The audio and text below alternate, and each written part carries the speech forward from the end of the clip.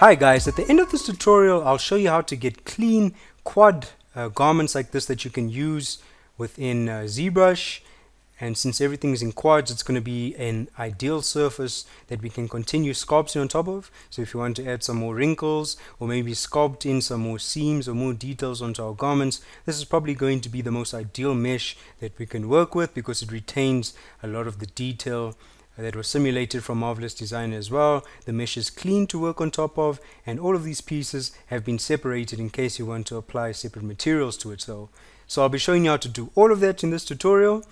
Uh, so without further ado guys, let's get started.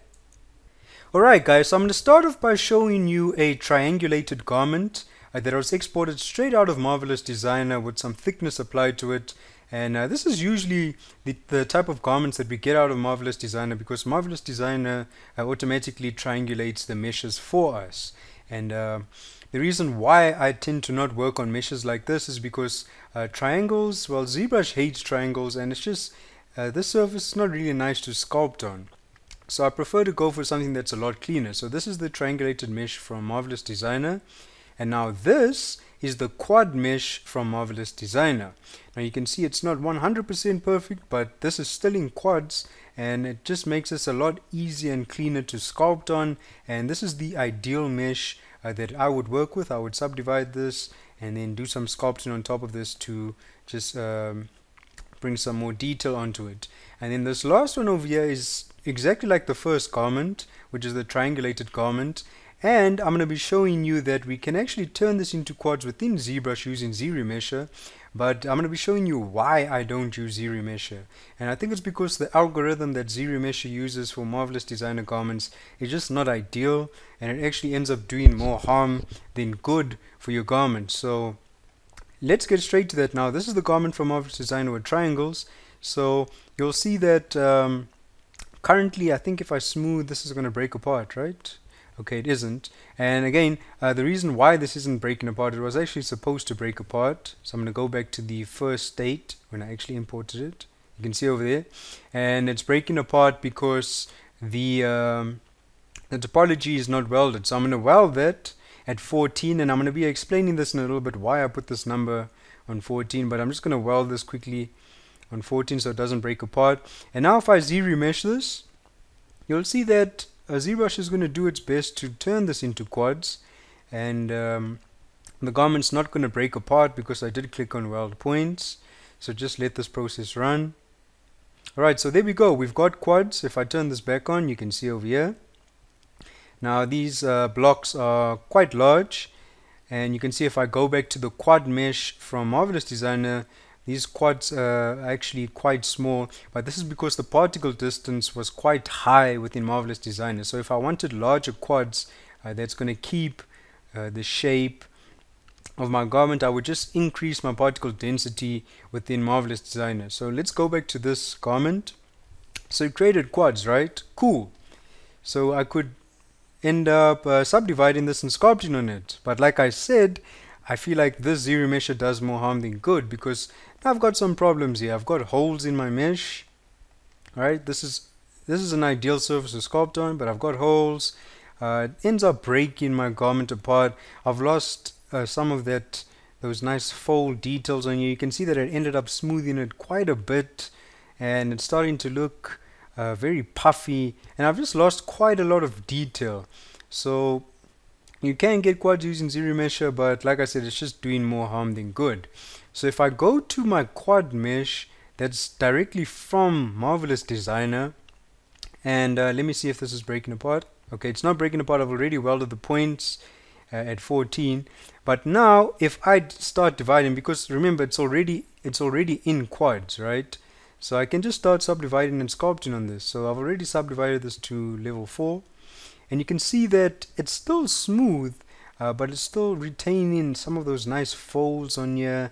And we've got an ideal surface to sculpt on. So just to show you guys the difference I'll switch between the two. This is the ZRemesher with quads using the triangulated mesh. And this is the quad mesh uh, just by simply welding points and subdividing. I've got still got all of my detail, all of these nice folds, and I've got an ideal surface to sculpt on. So this mesh that I got here was through a lot of trial and error, and uh, I'm going to be showing you guys how we can do this, how we can get uh, this nice uh, mesh edge flow that we can sculpt on, and um, it's definitely this is something you guys should uh, strive for is to work on a mesh that's in quads and not with triangles. And like I said, I, I really wouldn't recommend uh, taking a triangulated mesh and using ZRemesher because you lose a lot of details. It ends up breaking the mesh. You get these ugly holes and it's going to give you a headache. So if you guys can get to this state, uh, yeah, it's going to make things a lot more easier for you guys. Clean mesh, you can sculpt on this and still retaining quite a lot of detail. So let's get straight into that. I'll show you how to uh, basically export quadrangulated meshes that are ideal for ZBrush and for sculpting. So let's do that in the next part. Alright guys, so it's time to show you my ideal method from uh, for exporting your garments from Marvelous Designer over to ZBrush. And just one thing I want to point out quickly, uh, if you've ever created a garment and you see black areas like this, it just means that the normals are flipped. So all you have to do is go to those pieces on your garment, right click and flip normal. So I'm just going to do that quickly just flip these normals. Okay there we go. And then um, I want to make sure that I'm viewing my garment with thickness so I go to this icon and you'll see that if I select the entire garment this is also something that you guys should probably do uh, you should apply thickness to your garments. So I'm selecting everything and you'll see here by um, add thickness rendering I put mine on 2 just so that the garment's actually got thickness to it. So you'll see if I zoom in there's actually thickness applied to this garment right so that's the first thing that I would do. Uh, the second thing that I would do so that I get some nice detail on my garment is select everything and put the particle distance on 10 uh, so I'm going to do that quickly. I'll just stop this and uh, resume once it's uh, gone through that process and we'll continue from there.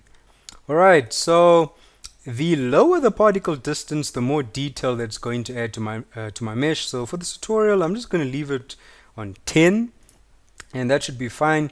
And like I said earlier in the tutorial whenever we create patterns and garments within Marvelous Designer it automatically triangulates this mesh. So how do we turn this to quads within Marvelous Designer now it's really simple. I'm going to select the entire pattern. I'm going to go to edit context menu 3d garment and then you'll see an option here called quadrangulate quadrangulate and then we'll just click on that. It's basically going to turn the entire garment into quads uh, so we can see over there. And from here uh, if you want to we can you know let's put in a wireframe on the model uh, but it is currently in quads.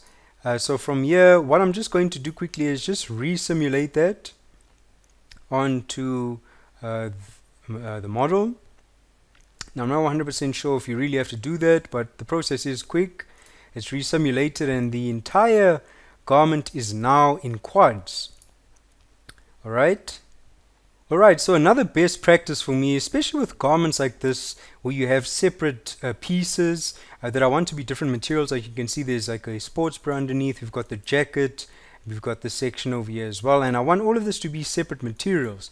So instead of selecting everything and exporting this out, what I do is I'll select individual pieces, so I'll select this pattern, which is just going to be this piece, and I would go to File, now I'm going to do this for every single piece, right? So we're already done. We've we've uh, we've changed this to quad, so we'll just we just have to export this out of MD. So like I said, the best practice, so I can apply separate materials. I'll just select each piece individually. I'll go to Export OBJ Selected, and I'll go and find my uh, folder. So let me just look for the folder over here quickly, and I'll say quad garment, and then I'll say quad G1 and then click on save. And now this next part is really important. You want to make sure that you save it as a single object and you want it to be on thick because we apply thickness in Marvelous Designer. And then you want to keep unified UV coordinates. This is something really nice to keep uh, selected especially if you're working in KeyShot and you apply any materials with patterns. Uh, we can then select the UV coordinates and our patterns are going to uh, basically flow with those UV coordinates and it's going to look really nice. And then uh, the scale well this would be relative to the scale of the model that you imported into DAZ um, into uh, Marvelous Designer. And then from here I'll just click on OK. And I'm going to do that for all of these pieces and then we'll move over to ZBrush. Alright guys so once I'm in ZBrush let's import that garment. So I'm just going to find it quickly on my desktop. I'm going to import this piece and you'll get this message. The imported mesh contains unused vertices. So it's recommended to remove the unused ones so I'll click on yes. Over here I'll click on OK now it doesn't seem to do anything detrimental to the mesh. So we should we should be fine. And then I'm going to click on the star and then click again and click on import just to import uh, the different pieces into our project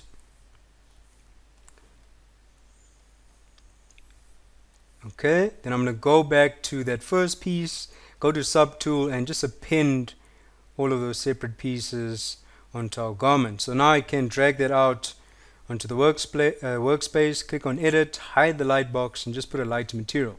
So there we go guys. If I click on polyframe we've now got the meshing quads straight from Marvelous Designer.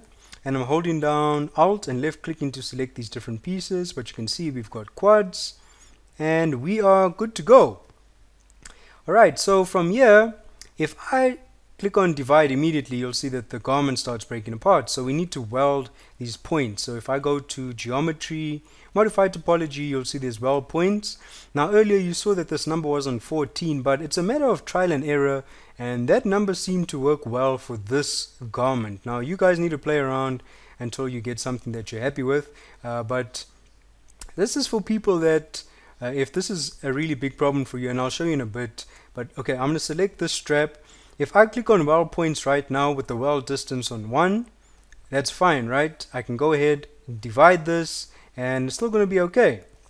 But you'll see if I zoom in here it starts rounding off uh, these pieces. So in order to prevent this from happening or, happening or to make it less noticeable so I'm going to undo that uh, to make that less noticeable, you have to increase this number. But uh, I felt that going to 14 or anything over 10 uh, seemed to work well. So if I put it on 14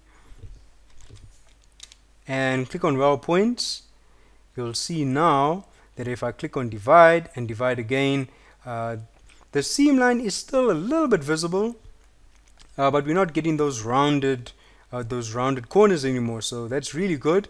And then uh, if we've just got a seams brush we can come back in here and just draw that seam back on. But you can see now everything is clean. Uh, there's no rounding off. And then I'm going to do the same for the other pieces as well. So I'll come to this part of the jacket. I'm going to put my weld distance on 14 hit enter click weld points. And I can divide divide and there we go we can see the garment starting to look nice and clean. Um, we've still got these seams over here and these seams are visible because uh, I exported this as separate pieces. So it's keeping that seam uh, continuity there as well. And then I just do this for every piece uh, play around with that weld distance. But like I said 14 seemed to be a really good uh, number with this garment. There we go. And then this piece as well 14 enter weld points and I can divide. So um, like I said we probably still going to lose some of those seams. They'll still be visible but uh, if you guys go to a website called Bad King uh, Bad King uh, they basically have these uh, clothing uh, brushes on their website. So there's like these seams. So I'd usually just select a seam brush uh, increase the intensity and then uh, for areas like this where I lost that seam a little bit so it's going to require a little bit of post work but this is how you push your garments I think to the next level. I'll just come back here and again it's in quads. So since it's in quads I'll be able to sculpt on there just a little bit easier. So obviously if I want that line to be really smooth I'm gonna have to subdivide uh, this piece actually quite a bit to get something uh, that's ideal.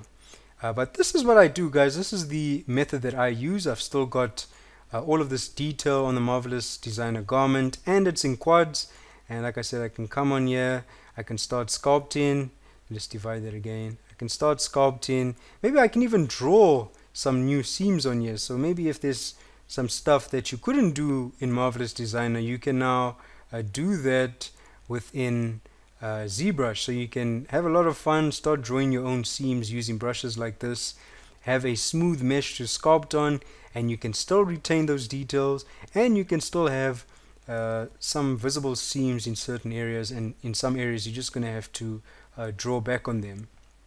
So this is my workflow from Marvelous Designer to ZBrush, guys, to have clean meshes and I hope you've learned something useful from this. Uh, this is what I discovered to be my best workflow. So if you've got any questions, leave them below. And as always, guys, thank you for watching my tutorials and stay tuned for some more. All right, goodbye.